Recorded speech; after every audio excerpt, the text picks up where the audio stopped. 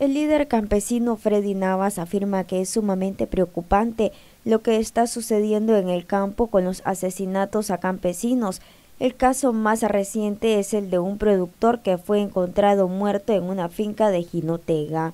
En vez de este gobierno eh, buscar cómo amparar o cómo cuidar el campo, ah, como están haciendo en otros países, que ahorita por ejemplo viene la siembra de, de primera, y ya están preparadas las tierras esperando el invierno de primera para comenzar a cosechar y ahí tienen que haber préstamos blandos para poder garantizar la producción de primera. Aquí ha sido todo lo contrario, aquí se ha perseguido y se persigue a la gente en el campo. Pues tenemos informaciones de allá de los chiles, de aquí de Carazo, de otro productor también aquí del norte, donde han sido eh, asesinados. A nuestros hermanos allá de la costa Caribe Norte y Caribe Sur, ahí son las etnias que quieren exterminarlas, pareciera este gobierno.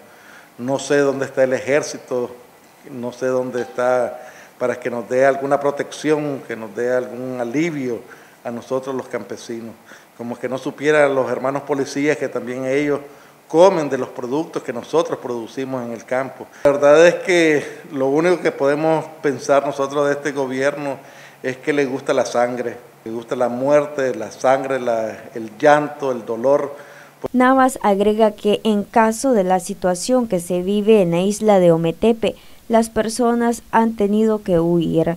En un pueblo indefenso llegaron como 250 antimotines armados, rodearon el pueblo y comenzaron a tirar bombas lacrimógenas, donde hubieron muchos señores desmayados, otros sangrando de las, sus narices, unos niños también completamente desesperados allá en el pueblo. Lo rodea, y lo tienen sitiado.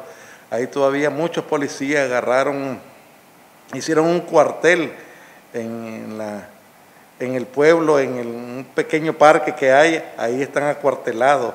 Quisieron tomarse la iglesia, de hecho hasta entraron dentro de la iglesia los antimotines. Y esa es la seguridad que nos dan en el campo. Verdaderamente, pues nosotros lanzamos más bien un SOS, tanto nacional como internacional, para que nos ayuden. Pues no sabemos qué hacer o cómo hacer.